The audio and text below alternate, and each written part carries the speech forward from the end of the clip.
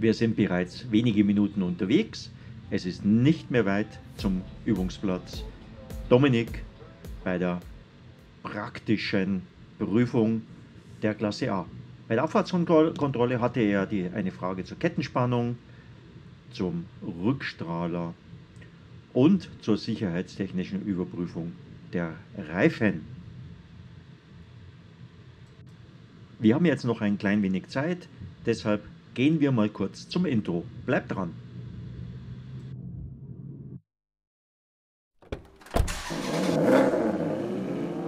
Hier fährst du frei.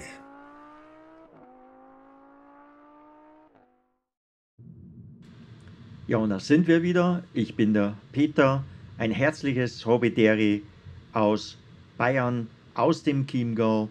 Ich bin mit dem Dominik bei der Prüfung hier gefahren. Der Prüfer sitzt neben mir und ich kann euch versprechen, die, auch diese Prüfung birgt wieder Überraschungen bleibt dran. Bei den Grundaufgaben beginnt gleich, ja, was soll man sagen, ein Drama. Ihr werdet sehen.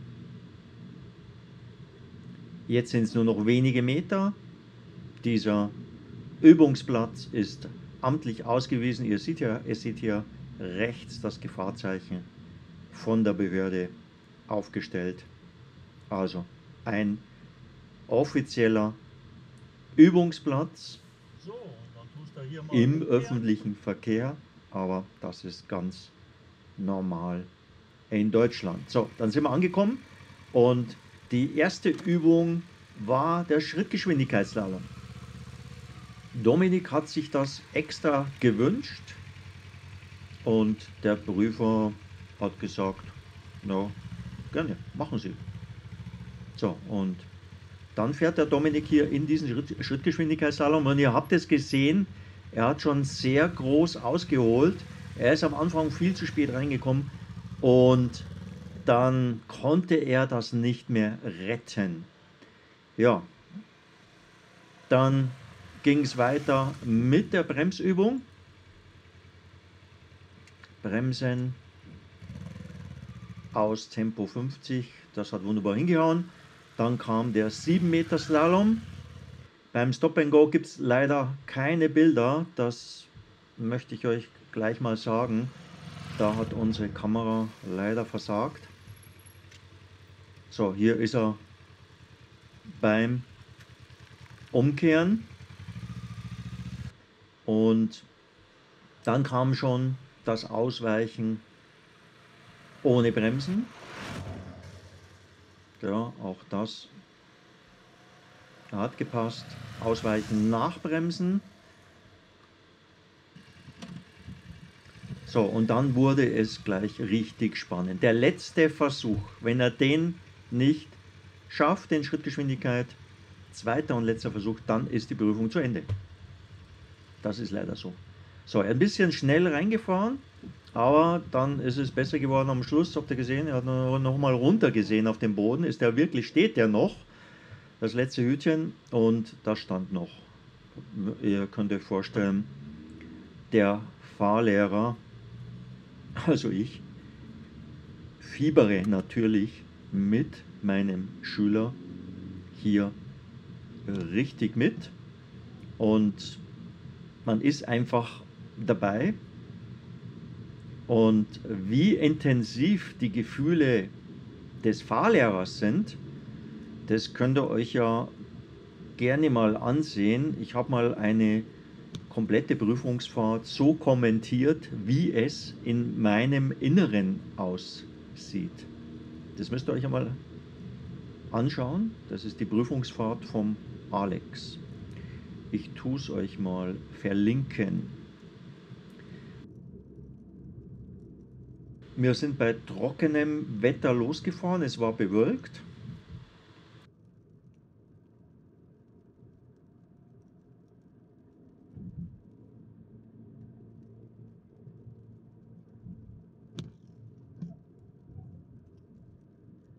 So, am Ende geht es dann links weiter. Ende links.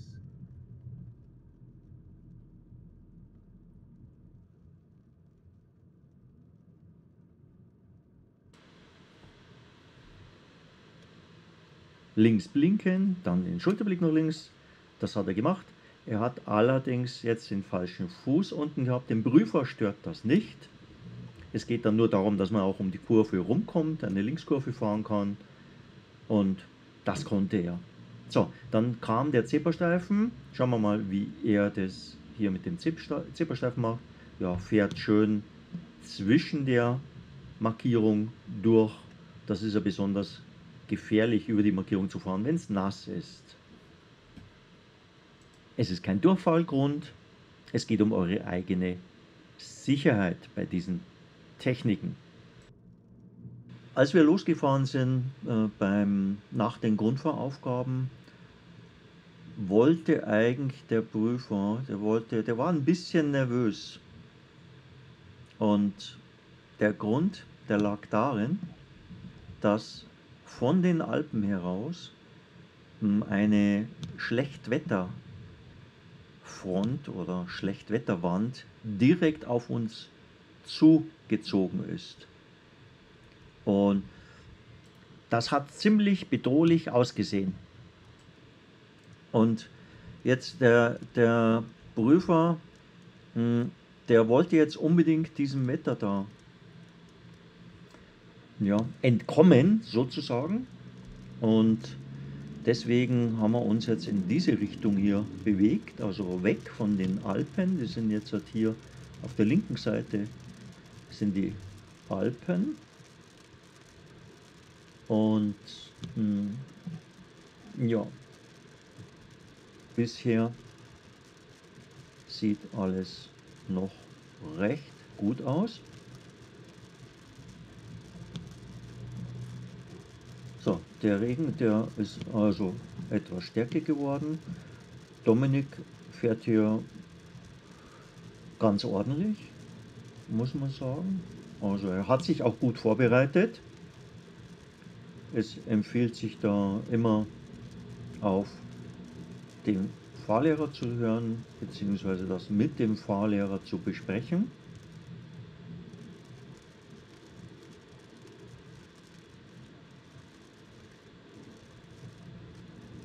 Ob Prüfung oder nicht. Das sollte man immer mit dem Fahrlehrer absprechen. Das ist am besten. So, jetzt sind wir am Ende der Straße dann rechts abgebogen. Wenn wir links abgebogen wären, wären wir direkt in die Schlechtwetterfront hineingefahren. Also direkt. Und ich sage euch gleich, es war dort dermaßen dunkel, da hast du schon fast Angst bekommen. So dunkel war das. Und ihr seht hier, wir fahren hier mehr oder weniger in eine Zone, hm, ja, hier am Horizont, ihr seht es, da ist heller. Es verspricht hier hm, besseres Wetter zu sein. Und hm, wir haben uns eigentlich nichts dabei nichts Schlimmes dabei gedacht, dass wir jetzt in diese Richtung gefahren sind. Also der Prüfer wählt ja die Strecke aus.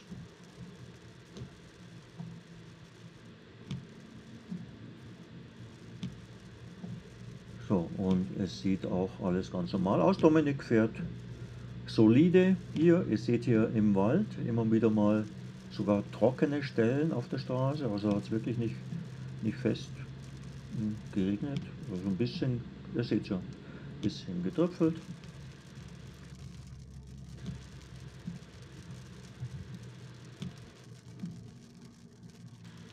Das wird sich noch richtig zuspitzen.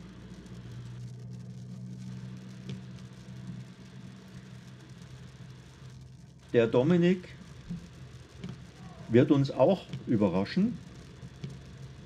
Scheinbar kann keine Prüfung ohne irgendwelche Besonderheiten ablaufen. Ich weiß es nicht.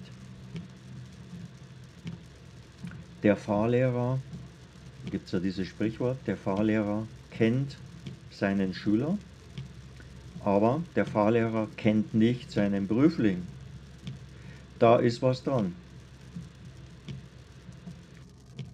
Wir werden sehen, was passiert. Wir kommen jetzt hier erstmal zum Kreisverkehr. Ja. Es geht dann weiter für Ortskundige. Es geht dann weiter Richtung Matzing. Das ist also jetzt die zweite Ausfahrt. Schauen wir, wie Dominik das macht.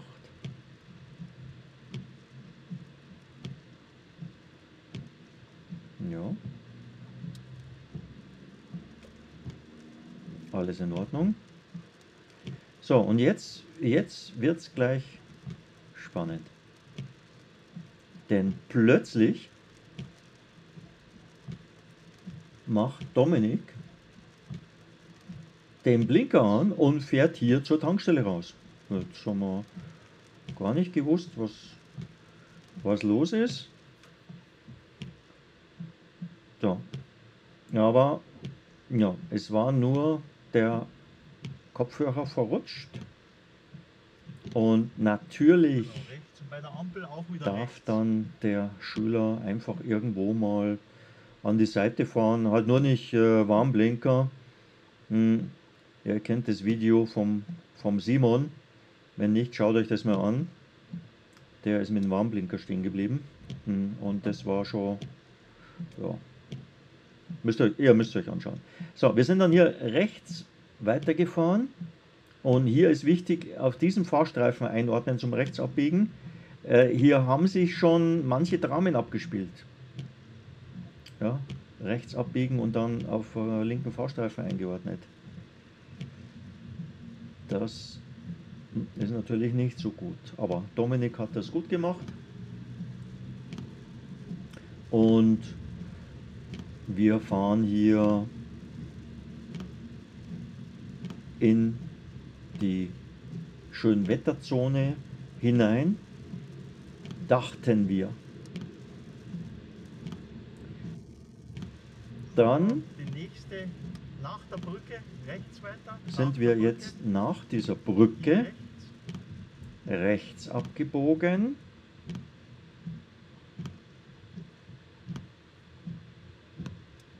Ja.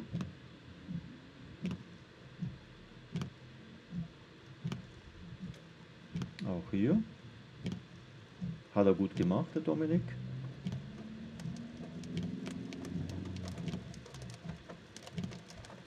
Und dann sind wir diese Straße gefahren und plötzlich, wie aus dem Nichts, fängt es hier nicht zum Regnen an, ihr seht, sondern das ist, äh, also es hat richtig runtergeschüttet.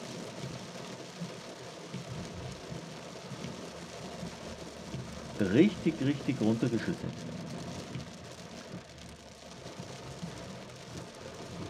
schaut, was jetzt als nächstes passiert.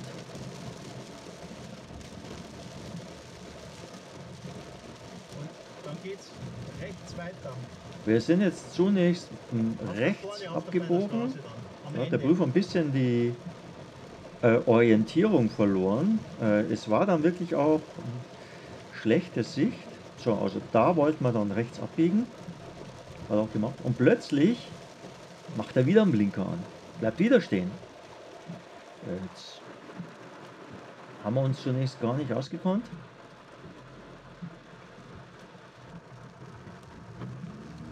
Dieses Mal war der Grund,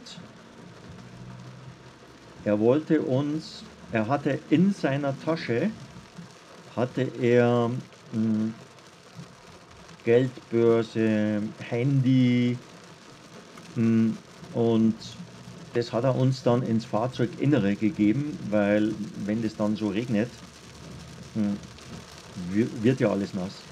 Also tut es am besten, wenn ihr sowas dabei habt, tut es in die Tasche rein und ähm, ihr könnt es auch gleich ins Auto legen.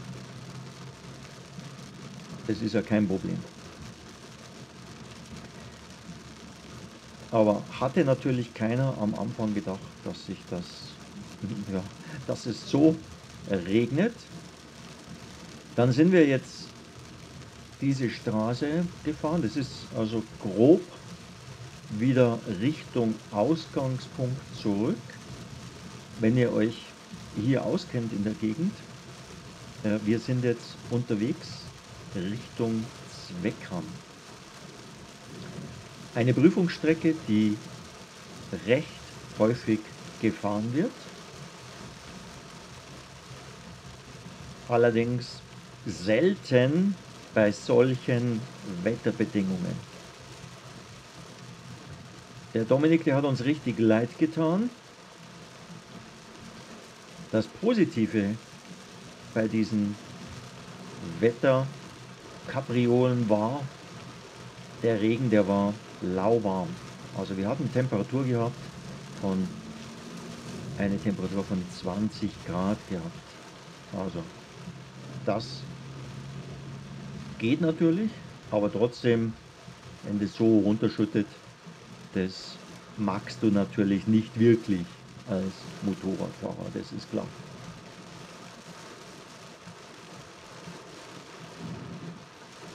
Und ihr seht vielleicht, was da mittlerweile an, an Wassermengen auf der Straße liegt. Der Scheibenwischer hat in die höchste Stufe geschaltet. Und mh, hm, da sieht man es wieder. Also das zeigt, also da hat es, da hat es richtig runtergeschüttet. Und es ist, das hat sich noch weiter hineingesteigert. Ihr seht's.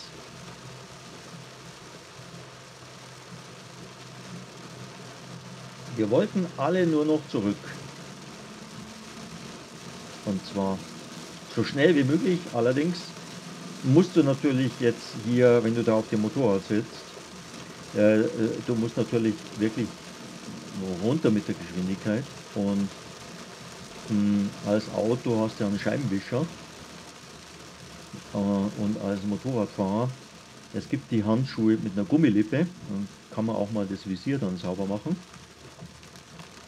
Und hm, ja, sonst ist einfach schwierig. Ihr solltet es in den Fahrstunden, wenn möglich, äh, auch mal trainieren, also dass man auch mal bei Regen fährt, dass man die Besonderheiten einer Regenfahrt kennt.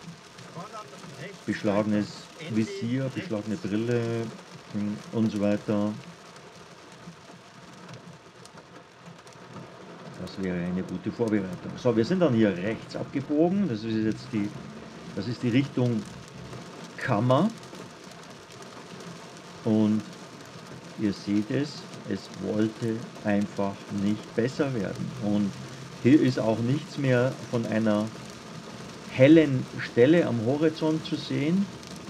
Äh, es ist ein Grau in Grau gewesen, nur noch eine Wasserwand.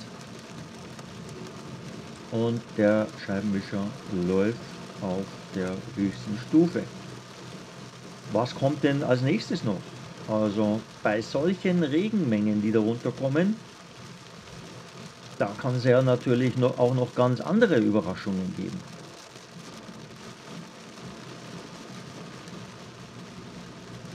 Ja, Sturzbäche, die sich über die Straße ergießen und oder noch Schlimmeres. Wir werden sehen, wie das hier weitergeht.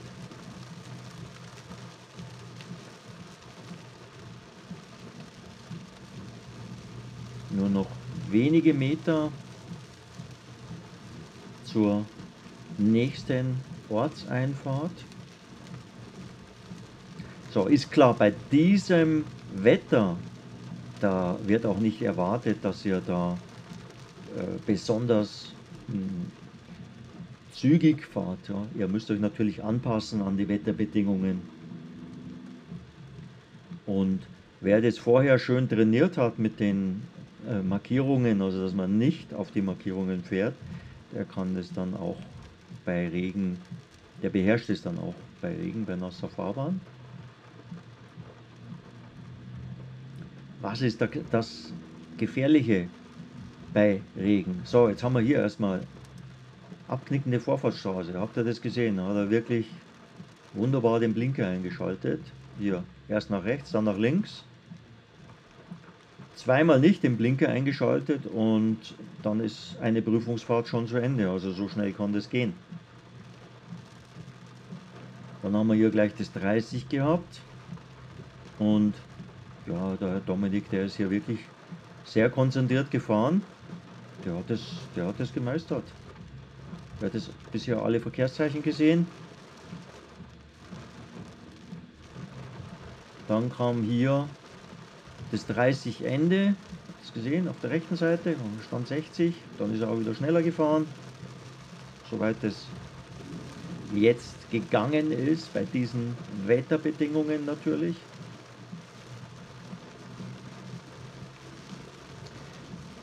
Was tun bei Regen? Was macht der Motorradfahrer bei Regen?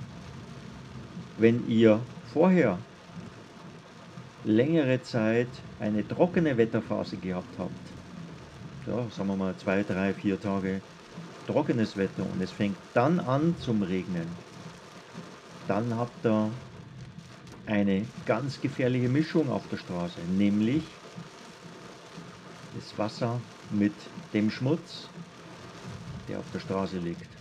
Und das ist gerade bei in Kurven eine ganz unangenehme, schmierige Schicht. Da muss man dran denken. Das dauert ein bisschen, bis das runtergewaschen wird von der Straße. Geht nicht so schnell.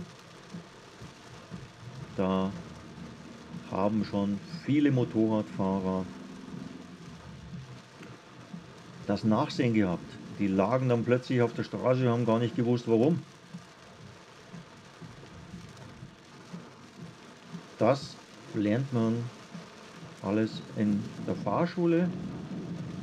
Und jetzt kommen wir zurück hier zur Prüfungsfahrt. Dominik macht das wirklich gut.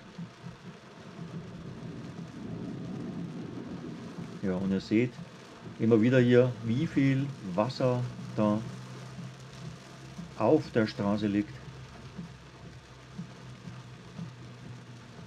Es ist jetzt nicht mehr weit zurück zum Ausgangspunkt. Wir sind beim TÜV gestartet und da geht es jetzt wieder zurück. Dahin geht es wieder zurück und jetzt aber zunächst mal durch dieses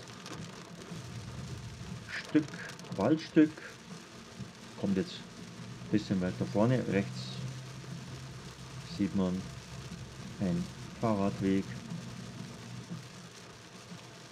Und ja, wir sind ein beliebtes Ausflugsgebiet hier im Chiemgau, kommen sehr viele Touristen, viele Radwege, wir haben viele Radwege, wir haben schöne Radwege und eine herrliche Gegend. Wenn die Wolken hier nicht so tief wären wie jetzt, dann würde man einen fantastischen Blick in die Alpen haben. Wir müssen natürlich aus dem Wald rauskommen. Der würde der verdeckt momentan die Sicht. Es wird hier Gott sei Dank wieder etwas heller. Und ja, was haben wir hier an Schwierigkeiten äh, gehabt? Wir haben dann einmal diese das 80 gehabt. Das war jetzt gerade auf der linken Seite beendet worden und Jetzt ging es dann geradeaus weiter. Ihr seht, es ist, wird jetzt etwas besser, etwas klarer. Wir waren alle erleichtert. Ja, und was macht Dominik? Wir haben noch ein paar Meter zum Fahren. Gibt es noch einen weiteren Schreckmoment für den Fahrlehrer und natürlich auch immer für den Prüfer? Denn eines ist klar, was macht der Prüfer am liebsten? Führerscheine austeilen. Warum? Ja, es ist einfach schön, wenn man die strahlenden Gesichter dann sieht der Schüler, wenn sie ihren Führerschein bekommen. Das ist einfach was Schönes. Aber Prüfer ist halt Prüfer und hm, er muss sich halt das vorher mal anschauen, wie der Schüler fährt. Dann sind wir hier rechts abgebogen.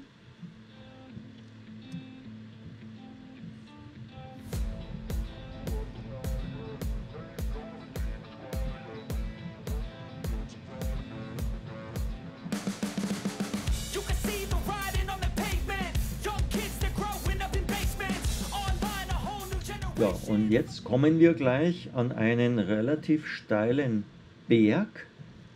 Und da sollte man natürlich das Berganfahren auch trainiert haben in den, in den Fahrstunden, weil wenn man da mal verkehrsbedingt stehen bleiben muss, und der ist schon ja, relativ steil hier, äh, und äh, da muss natürlich auch wieder weiterfahren können.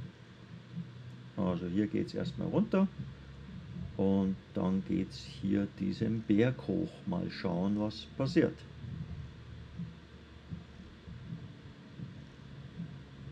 Ist auch relativ schmal hier diese Straße. Also Dominik hat dann natürlich aus dem Motorradfahren kein Problem. Und ja, er konnte auch schon durchfahren und jetzt wird es nochmal spannend. Ihr seht es vielleicht schon, was kommt da?